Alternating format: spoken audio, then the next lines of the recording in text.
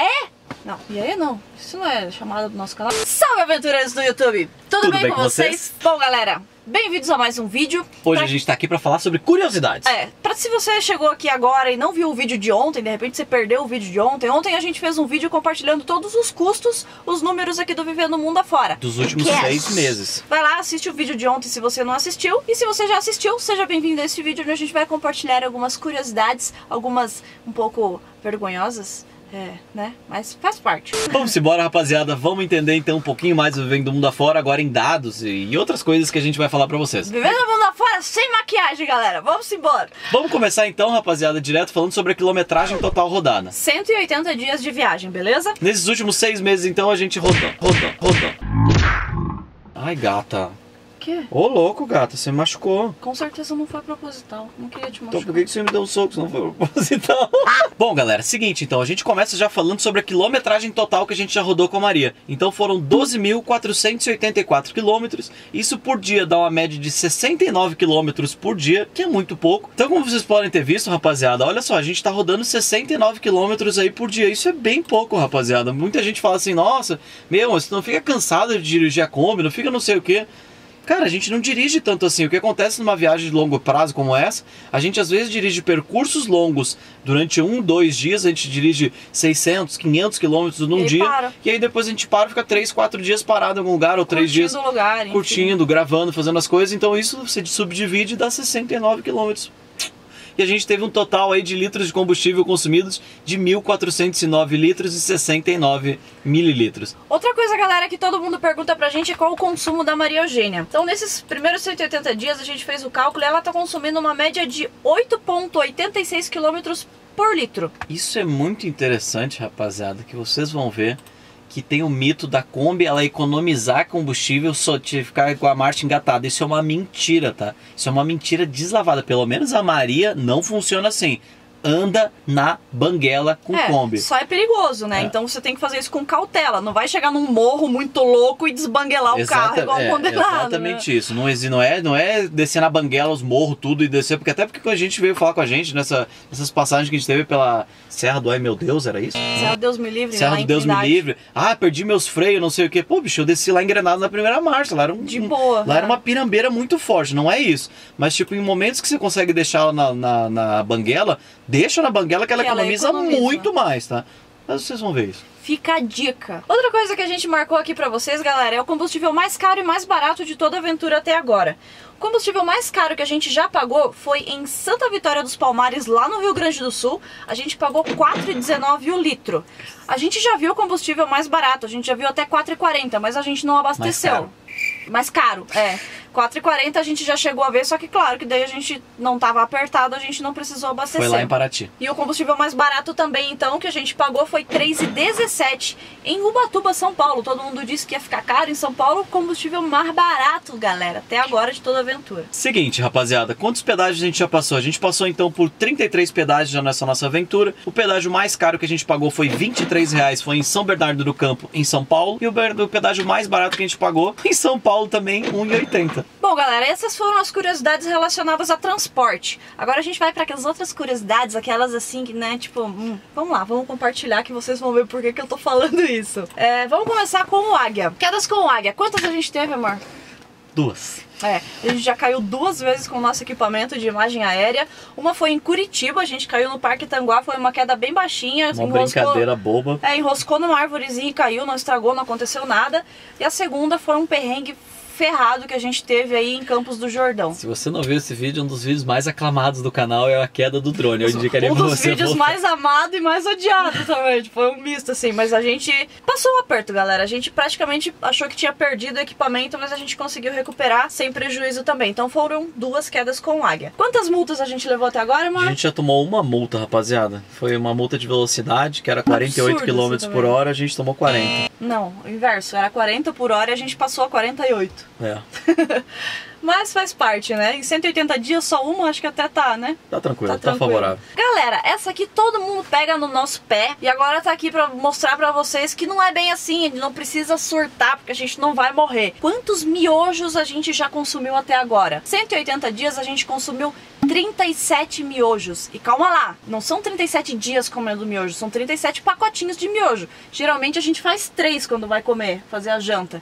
Então, pode ver que a gente comeu o quê? Uns 15 dias miojo, mais ou menos?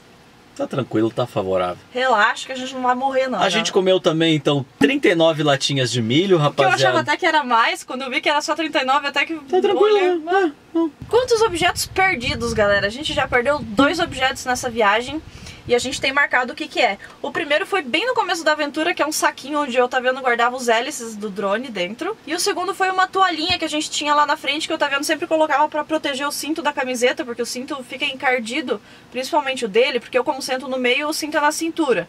Ele como senta aqui no, no, no motorista, o cinto fica aqui, a janela aberta fica pegando poeira. E aí, tipo, suja o cinto e suja a camiseta quando tá limpa. A gente perdeu essa toalhinha. Provavelmente quando abriu a porta caiu, sei lá. Não sabemos, perdemos. Eu já fiz a Barbie, então, seis vezes nesse, nesse período de seis meses. Então... Bastante, né? Porque no por- começo ele disse que ele ia mês. virar o Papai Noel. Nossa, é, mas eu não consegui, eu não aguento. Chega um momento que a barba começa a coçar demais. É. Aí vem a parte, digamos, mais legal da viagem inteira, rapaziada. Ou não, né? Porque Os eu não banhos. acho isso muito legal Olha de só, compartilhar. rapaziada. Galera, teve uns vídeos aqui atrás que a gente falou, tá, a gente fez uma, brinca... uma brincadeira, não, a gente comentou que eu- a gente tava indo dormir sem banho, porque a gente tava dur- indo dormir numa barreira policial. E aí eu comentei assim, nossa, eu acho que a gente é o casal que menos, que mais fica sem banho de toda a história aqui dos aventureiros. Casal da mais porco da aventura. Galera, olha só, 180 dias. Otaviano ficou 29 dias sem tomar banho. É quase um sem tomar banho, galera. Tranquilo, gostoso, rapaziada. E eu, claro que eu sou mais limpinha, fiquei 25 Ah, dias sem tomar Não, não, banho. não. Meu Deus! Galera, é claro que não foram dias seguidos, né? Imagina 25 dias seguidos sem tomar banho, mas foram dias aleatórios. E o curioso até, porque tem dias aqui que tá anotado que não era por falta de chuveiro, é por preguiça. Tipo, sabe, a gente ficou até tarde num camping trabalhando, era uma hora da manhã, já, ah, eu não vou tomar banho, vou dormir. Exatamente Mais isso. E a assim. gente, na verdade, também nunca passou mais de dois dias sem tomar banho também. Então. Dias, então, rapaziada, que eu e a baixinha andamos de chinelo. Vocês sabem, rapaziada, que a gente tá pedindo patrocínio para Havaianas, né? Vem, Havaianas, vem com a gente, meus queridos. A gente faz parte da raça chineloide.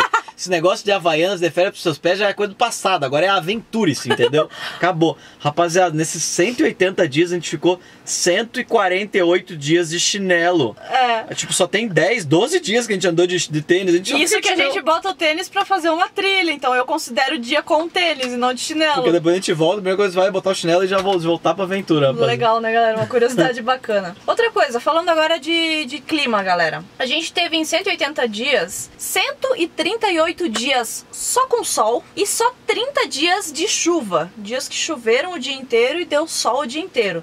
E aí teve 12 dias em que o tempo oscilou, choveu, ficou nublado, fez sol e tal. Mas bem bacana, a gente pegou bem poucos dias de chuva, né, até agora. O que é muito bom pra aventura. Tranquilo. E aí vem algumas coisinhas da Maria também. A gente foi parado só uma vez pela polícia, isso já faz um tempão que já aconteceu. Foi tudo tranquilo. É, o policial quando parou falou, só quero ver a Maria, não teve nada. Pneu furado a gente não teve nenhum. Porém, a gente fez um rodízio porque um tava bem surrado já. Nossa, tava terrível. E a gente teve também oficinas mecânicas 3. Lembrando que essas oficinas mecânicas, uma já foi em Joinville, que deu uma bomba, deu dois suspensão mil da reais, que foi a suspensão inteira que a gente fez a revisão.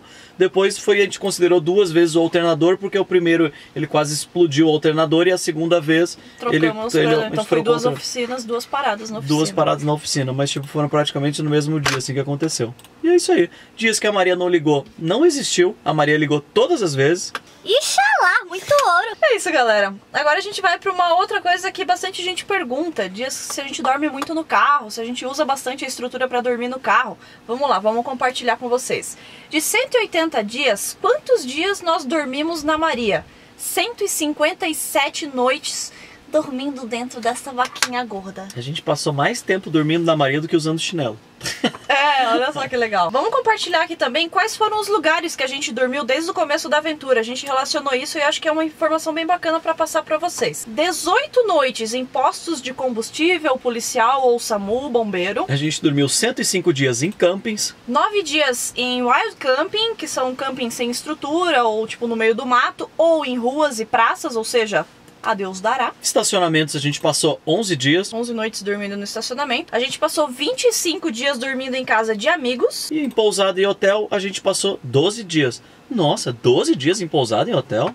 Não, já lembrei então, galera. É por causa que, na verdade, a gente lá no sul, a gente passou quase uma semaninha numa pousadinha em Cidreira. Uma pousadinha Na- bem baratinha Bem baratinha. lá que não tinha camping. É Exatamente isso. Então foram 12 dias em pousada e hotel. Então beleza, rapaziada, olha só que interessante isso aqui agora. A gente então teve nesse nossa aventura inteira então 13 pernoites que foram pagas e a gente teve na verdade 167 pernoites que a gente conseguiu fazer a permuta, a o troca é com o nosso trabalho. bom. Uma curiosidade bacana com relação a isso, galera. No vídeo de ontem, pra quem não viu, se não viu vai lá ver, se já viu já sabe, a gente gastou 500 reais com hospedagem nesses primeiros 180 dias. Isso é bacana porque se a gente teve 13 pernoites pagas, a gente fazendo o cálculo foram R$ 38,46 por pernoite. Se for ver isso então por pessoa, porque a pernoite são sempre para duas pessoas, R$ 38,46 dividido por 2 dá R$ 19,23 por pessoa a pernoite. Então foram pernoites bem baratinhas que a gente pegou também. Pousadinhas e hotéis bem baratos. Exatamente isso. É que na verdade quando a gente pega um pão, uma pousada, alguma coisa, significa provavelmente que a gente não achou camping, Camping. no lugar. E aí a gente vai em busca também de, um, de uma opção baratinha pra gente não gastar tanto. A gente adora dormir na maricota. Essa é a pura realidade. A, a Maria, ela, galera, ela tá se transformando cada vez mais na nossa casa, casa mesmo, assim. É, não gente- só dormir na Maria, a gente gosta muito de camping. A gente realmente é campista, a gente adora ficar em meio à natureza. Todo camping sempre tá num lugar super legal. A gente é fissurado. Até muitas vezes as pessoas perguntam pra gente: Nossa, tem tanta gente oferecendo casa pra vocês, por que vocês não ficam? Cara, a gente adora ficar em camping. É o que a gente se propôs. A gente caiu na estrada pra viver essa vida. Então, é o que a gente gosta de fazer. Então, por isso que essas nossas estatísticas caem tanto em noites dormidas no carro, tantas noites em camping. É o que a gente foi em busca. Então, E é legal, porque é uma aventura de volta ao mundo, a gente vai dormir no carro. Olha só. é. Tá certinho. Valeu, rapaziada. Era exatamente isso. Então, essas são as curiosidades. A gente espera que vocês tenham gostado e se divertido aí com essas coisinhas aí que eu e a Baixinha acabamos enfrentando e passando e, e compartilhando com vocês E aí todos esses dias. é isso aí, rapaziada. Se você curtiu, não esquece de deixar o like, rapaziada. É muito importante pra gente. Faz um comentário aqui embaixo o que, que você achou dessas que você curiosidades. achou. Que- tem alguma coisa ali que tipo, você achou, ai, nossa, vai Eu sei que ruim." todo mundo vai vir dizer que a gente é uns porquinhos. Isso a gente já sabe, não precisa nem dizer, tá? Exatamente isso. Não, mas se for dividir também, ó, galera, por seis meses, os 30 dias, dá um banho, tipo, a cada um dia. É isso? Não, gato. Três Foram dias. 30 Seis dias. 30 dias, gato. Você ficou um mês sem tomar banho.